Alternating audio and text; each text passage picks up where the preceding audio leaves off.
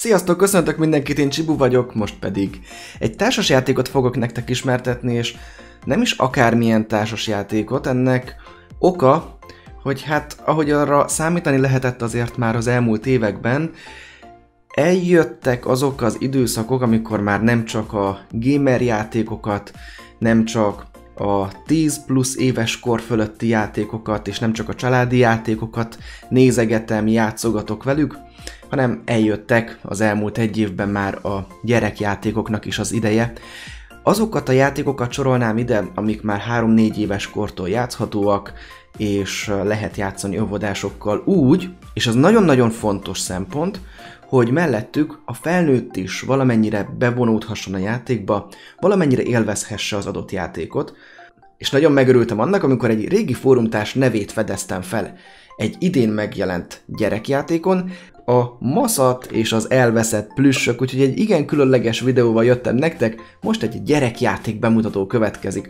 Ezúttal is köszönöm a Pagony kiadónak, és köszönöm Sándornak, hogy eljutott hozzám egy ilyen játék, mert nagyon-nagyon kíváncsi voltam, hogy egy vérbeli társas játékos hogy tud megbirkózni azzal, hogy akár már három éves kortól is, akár élvezhető és szerethető társasjátékot készítsen gyerekeknek, amivel adott esetben mondjuk a szülők is szívesen játszanak.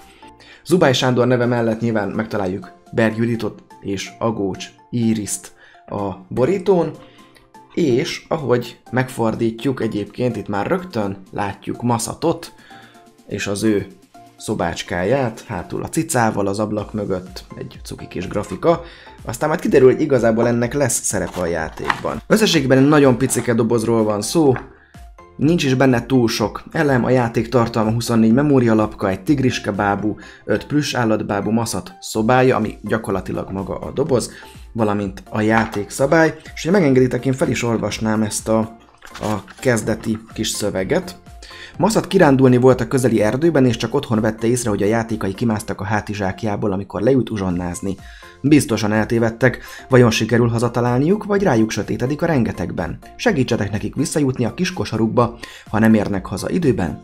Tigriske még képes, és elfoglalja előlük, itt van ez a kis szög, amit felolvastam, és a játék, ami miatt engem megfogott elsőre, és azt mondtam, hogy Mármint nem, nem maga a játék mellett, hanem amikor hallottam róla.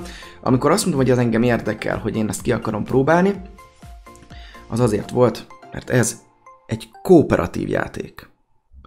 És egy kooperatív memóriajáték. Úgyhogy ez elég különlegesen hangzott számomra. A játékszabályt kinyitva egyébként egy viszonylag rövid kis füzetecskét találunk, aminek a végén alternatív szabályokat olvashatunk, Úgyhogy valójában ez a négy oldal fogja elmondani a játékot. Tehát van 24 ilyen mindenféle lapka, és a lapkákon már most látható, hogy vannak számértékek.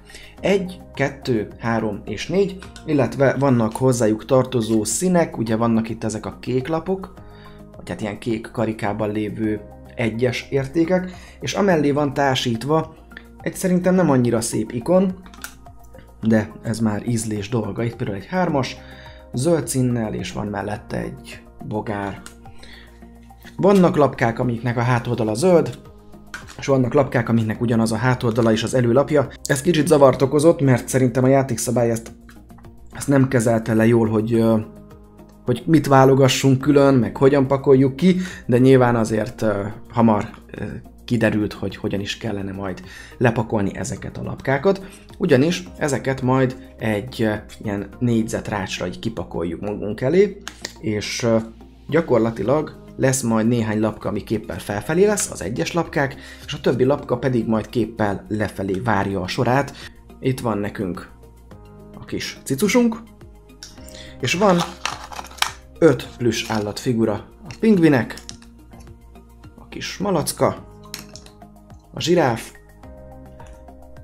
a maci, valamint az elefánt. Ezeket a plusz állatokat akarjuk tehát visszajuttatni valamilyen módon.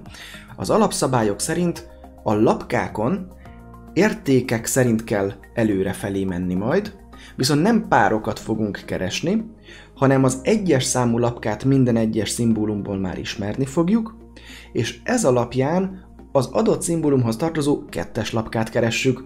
Hogyha az megvan, akkor a hármas lapkáját keressük, majd a négyest, és hogyha a negyediket is megtaláljuk egy adott szimbólumhoz vagy színhez tartozóan, akkor az ahhoz tartozó állatka hazajutott. És akkor, hogyha az elefánt hazajut, akkor betesszük a szobába. Ez egyébként nekem nagyon bejött. Ezek a kis apróságok tesznek szerintem egy gyerekjátékot kedvelhetőbbé, vagy szerethetőbbé, hogy, hogy, hogy, hogy egy picit közelebb kerüljön a, a szívünkhöz, és szerintem ez fontos a gyerekjátékok esetén. Alapvetően ez lesz a mechanika, de a csavar benne ott jön, hogy mielőtt felfordítunk egy lapkát, meg kell mondanunk, hogy ott milyen lapkára számítunk, tehát mit keresünk. Például, hogyha a pingvineknek keressük a kettes lapkáját, mert ők nekik az egyes már látható, és rámutatok egy lapkára, hogy szerintem ez a lapka lesz a pingvin 2-es, megfordítom, megnézem, hogy az-e, nem, ez az elefánt 3-as lapkája, ekkor ezt visszafordítom. Mivel nem találtam el, Tigriske, a cica lép előre egyet a következő lapkára, amire nem lehet rákérdezni, azt addig ott lefoglalja. Hogyha a tigriske így végigér az összes lapkán, és még visszafele is végigér, akkor elvesztettük a játékot, bár szerintem az, az az nem nagyon van benne a játékban, hogy elveszíthető, akkor szerintem sokkal érdekesebb, vagy felnőttként sokkal izgalmasabbnak tűnt az, hogyha csak egyszer érhet végig, akkor úgy azért volt benne kihívás, úgyhogy ha vissza is kell jutnia, azért azt meg lehet oldani, akár három évesnek is. Nyilván számok nélkül, de erről majd később. Hogyha viszont eltaláltuk volna azt, hogy pingvinnek melyik a kettes lapkája, akkor az egyes lapkát kivettük volna, és jönne a következő játékos, aki rámutat megint egy lapkára, rátippel, hogy ott mi van, megnézzük, hogyha az van, akkor az adott plusz állatot tovább mozgatjuk, hogyha viszont nem az van, akkor visszaforgatjuk, ennyi a játék. És akkor vannak az alternatív szabályok, amik nekem különösen tetszettek a játékban, ugyanis lehetővé teszi azt, hogy kisebbekkel játsszuk, vagy pedig egy kicsit pedagógus szaknyelven szólva differenciáljuk a játékosok szintjét, ami azt jelenti, hogy mondhatom azt, hogyha például még nem ismeri a gyermek a számokat, akkor mondhatom, hogy nem a számokat nézzük, hanem csak a szimbólumokat nézzük. Vagy mondhatom azt, hogy mindegyik állatnál csak az állat lapka számít, és akkor nem számít, hogy a jobb felső sarokban milyen ikon van. Egyszerűen annyit kell megtippelni jól, mondjuk itt van most egy egy lapka, annyit tippelek rá, hogy ezen pingvin lesz, megfordítom, hoho, és tényleg ez egy pingvin, akkor félretesszük a lapkát, és hogyha négy lapka összegyűlt, akkor a pingvin hazajutott.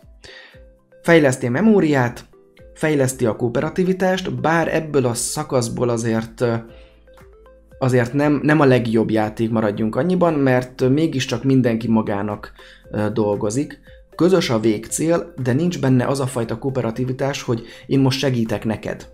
Mert amikor te jössz, akkor te tipped meg. Nyilván, hogyha a másik gyerkőc az jobban tudja, vagy ő jobban emlékszik rá, akkor a kooperatív játékok hátránya előjön alfa játékos, fett fel azt, az lesz az elefánt, az lesz az elefánt, így is úgy is közösen fogunk örülni, és nekem nagyon tetszik az ilyesmi, hogy nem versengenek egymással a játékosok, hanem egy közös célért dolgoznak. Úgyhogy ez lenne a maszat és az elveszett plüssök. Nekem nagyon bejött. Tehát, hogy a gyerekjáték feelinget nagyon adja. Az, hogy felnőttként mennyire ülnék le mellé játszani, az, az, az nyilván egyértelmű, hogy, hogy csak úgy, hogy én most leüljek és maszat és az elvezett plüssökkel játszok, akár egy Cthulhu témában, az szerintem nem, nem reális, viszont úgy, hogy a gyerekek ott vannak mellettünk, akár egyébként még felnőtteknek is valamilyen szempontból kihívást jelenthet, viszont a gyerekek nagyon élvezik, úgyhogy köszönöm Zubály Sándornak, hogy kitalálta ezt a frankó kis játékot, és nyilván a Pagony kiadónak, hogy lehetőséget adott arra, hogy ez így megjelenhessen, mert hogyha társasjátékos szülők vagytok, és kerestek társasjátékot a csemetéknek, akkor szerintem ez egy jó választás lehet. Köszönöm a figyelmeteket, tartsatok velem, és legközelebb már lehet, hogy ismét valami Amerit vagy Jurót hozok majd nektek. Legyetek jók, játszatok sokat, mert játszani jó. Sziasztok!